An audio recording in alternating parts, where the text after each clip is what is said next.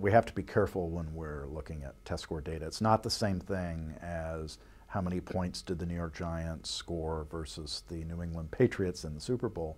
Uh, these tests have to be interpreted very carefully.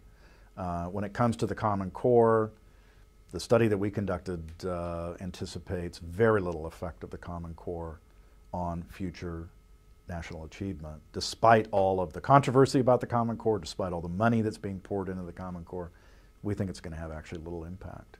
The second study looking at the main NAEP and the long-term trend NAEP uh, is a pretty simple story. We have two tests. They have the same name. They're both called NAEP, but they give us different information about the size of these SES gaps.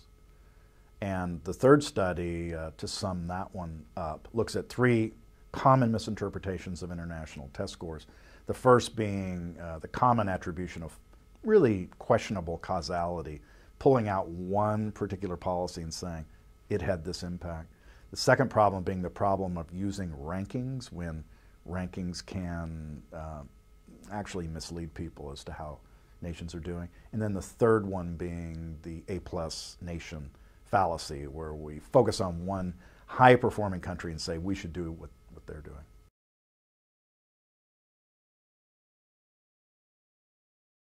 The whole idea of standards is to close gaps.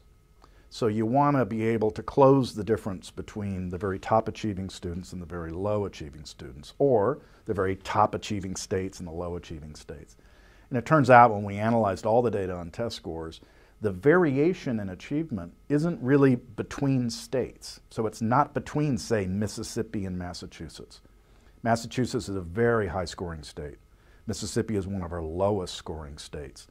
And the way to explain this is the gap between Massachusetts at the top and Mississippi down here, that happens to exist in every single state.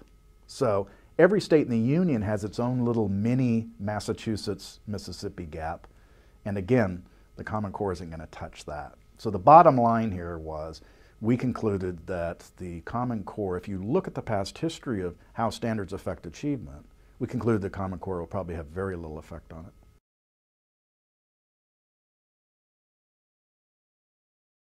We looked at achievement gaps, and achievement gaps in education are considered to be gaps between uh, socioeconomic status groups.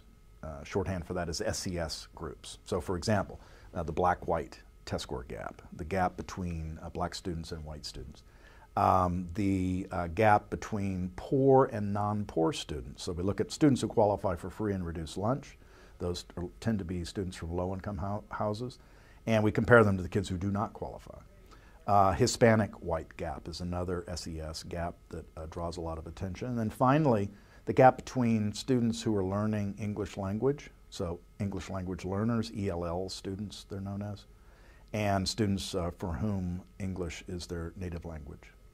So what we did is we have two NAEP tests, the long-term trend and the main NAEP, and we looked at the gaps on these two tests and said, asked the question, are the gaps about the same? And it turns out they're not that the two tests actually give us different information about the magnitude, the size of the gaps. And it is consistently true that on the main NAEP, that's the more modern NAEP, the one that we use, for, for example, in No Child Left Behind, uh, on that test, the gaps are wider on that test than they are in the long-term trend.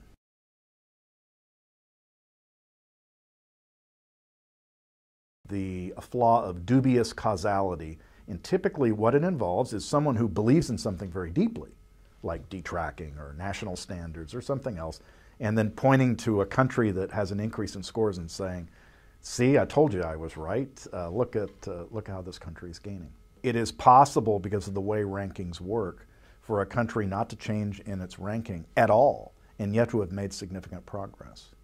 So that's the second problem. Rankings really should be used with great caution and unfortunately they're not. People put way too much emphasis on rankings. And then the third problem I call the fallacy of the A plus countries. And this uh, was a problem in particular here in the United States with advocates of national standards. I've been to several meetings where advocates of national standards say, look, if you look at the top 10 countries in the world, they all have national standards. And that's not evidence that national standards is necessarily a good thing And I can give you, you know, very quickly, if you look at the bottom 10 nations of the world, they all have national standards too. So you have to look across the entire distribution, not just at uh, one particular cluster of countries at the top and say, well, that's what we should do.